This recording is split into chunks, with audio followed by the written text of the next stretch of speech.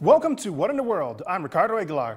Catherine Smith could not be with us here this week, but we'll still give you the news from the strange to the unconventional. Let's get started with our first three stories for today. A goat named Lincoln has been elected as the new honorary pet mayor of Fairhaven, Vermont. The goat was chosen out of 16 other animals, winning with 13 votes against dogs, cats, and gerbils. Lincoln is now expected to attend local events, such as marching in the Memorial Day Parade. The idea was inspired by Omena, Michigan, and their cat mayor, Sweet Tart McKee. The town does not have a human mayor in office. Around 1,500 smuggled turtles were found alive in some abandoned luggage in the Manila airport in the Philippines. The turtles were wrapped in duct tape and were of various species, such as red-eared sliders, star tortoises, and sulcata tortoises. All turtles were worth about $86,000. It is suspected the smuggler got cold feet after considering the punishments if caught. The turtles have been relocated to a monitoring unit for safekeeping. A man in Florida was recently sentenced to 60 days in jail after attacking a McDonald's worker over a straw. The initial incident took place during New Year's Eve, where the man screamed and attacked the worker after they could not find a straw, with everything being caught on camera. The man is now also subject to a mental evaluation as well as owing $1,000 in fines or 120 hours of community service. He is also told to stay away from the restaurant and the workers hired there. We'll be taking a short, quick, we'll be taking a short break. Stay tuned.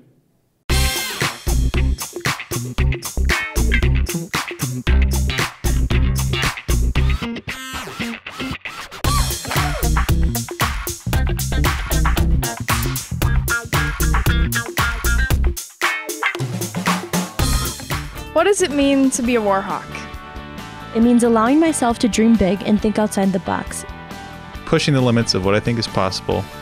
Seeing ideas through from start to finish. Collaborating with professors and peers. And seizing opportunities in the community to put my knowledge to use. I'm studying abroad, learning another language, and listening to the stories of others. I'm making lifelong friends and fearlessly sharing my gifts with the world. As a warhawk, I stay balanced, take great care of myself, and get out of my comfort zone.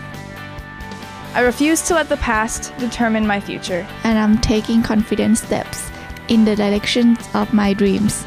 Sometimes it doesn't make sense. And other times it couldn't be more exciting. But I will keep my goals in mind and never quit. Cause that that's the Warhawk way.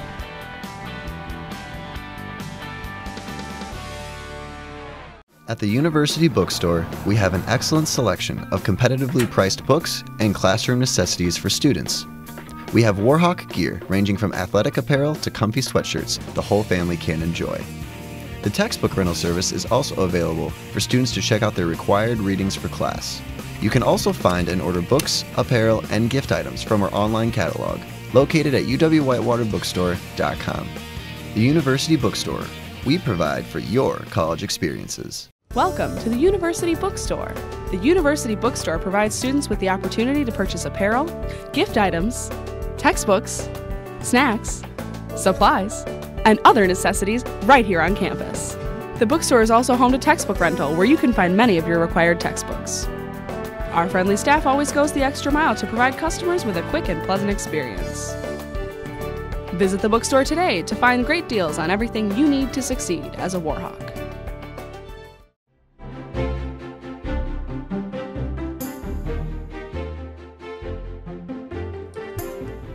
Whether you live on campus or commute, University of Wisconsin Whitewater's 13 dining locations offer many benefits while working for dining services.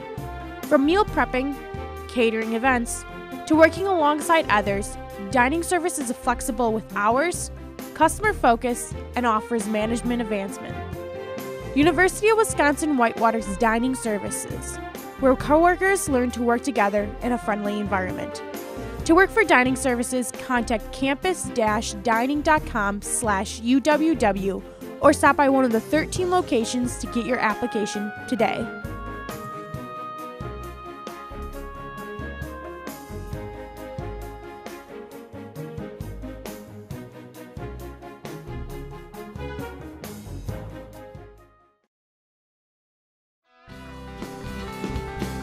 The UC can get you connected to all your basic needs. Grab a coffee and a meal.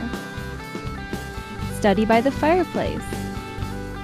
Bowl, play, and relax when you want a break from homework.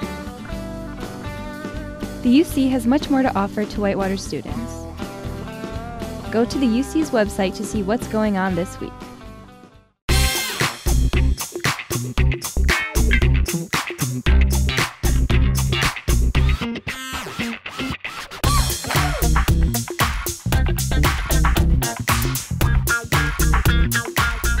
Stray dog named Mara recently befriended an expedition team in the Himalaya Mountains, potentially being the first dog to reach the Baruntse summit. The team met Mara while heading to Baruntse, and for the next three weeks, they soon began to appreciate her climbing abilities. One member said that Mara brought luck to the expedition. Mara has now been adopted by the base camp manager, currently living in Kathmandu.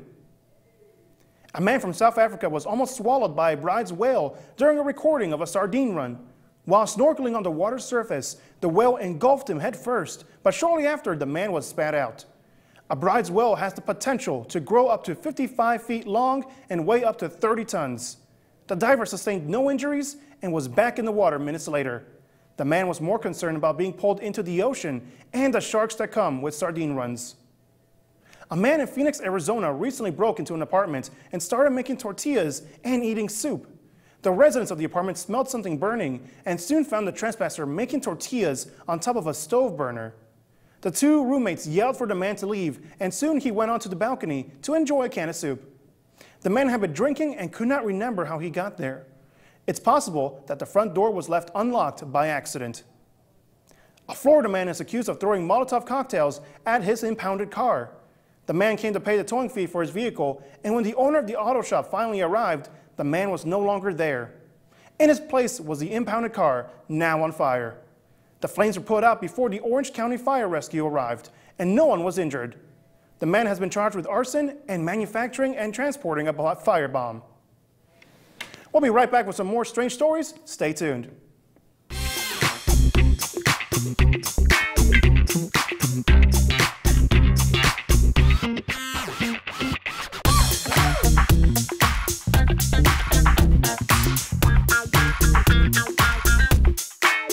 Army ROTC cadet at Whitewater, you have the opportunity to develop into a great leader while learning and applying the Army values to your everyday life. Within ROTC, you have the chance to travel overseas in the CULP program to train with other militaries, attend many elite Army schools such as Airborne and Combat Diver, and you have the opportunity to attend conferences and guest lectures by some of the Army's top ranking officers. Our Warhawk cadets participate in many extracurricular activities, Division III sports, Greek life, intramural sports, among many other team building and community service events. Being a cadet at Whitewater is more than just being part of the Army. It's also about being active members in our community and coming together to form a family atmosphere. Anyone who wants to be a part of something bigger than themselves while developing themselves professionally should consider UW Whitewater ROTC. To sign up for UW Whitewater ROTC, go to the fourth floor of McCutchan Hall to room 417. Peace, education, activism through creative engagement. Peace is a nonpartisan organization that promotes peaceful resolutions to university and worldwide conflicts. We raise awareness on issues regarding environmental rights, social equality, and political justice. Every month, we show a documentary in the Summers Auditorium. You can learn and have fun doing it. Peace. Be the change you see in the world. Here at UWW, we put a lot of emphasis on shaping your involvement. Involvement helps you get to know more people with similar values and goals as yourself. The Student Involvement Office can help you get involved with organizations on campus, or we can help you start a brand new one. So, what are you waiting for? It's time to shape your involvement at UWW. If you'd like to learn more, stop by UC 127 or contact us at involvement at uww.edu or call 262 472 6217. Here at UW Whitewater Intramural Sports, we have a motto a sport for everyone and everyone in a sport.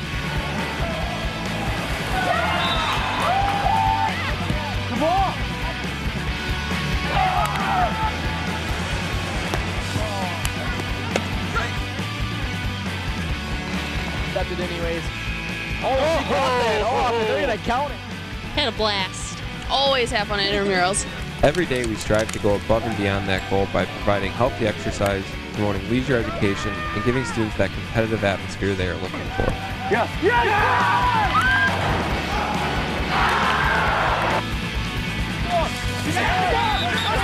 It's exciting. Brings me back to those uh, high school days with Friday Night Lights. With our 25 different intramural sports offered, we guarantee that we have a sport for you. Go to our website and find your sport today.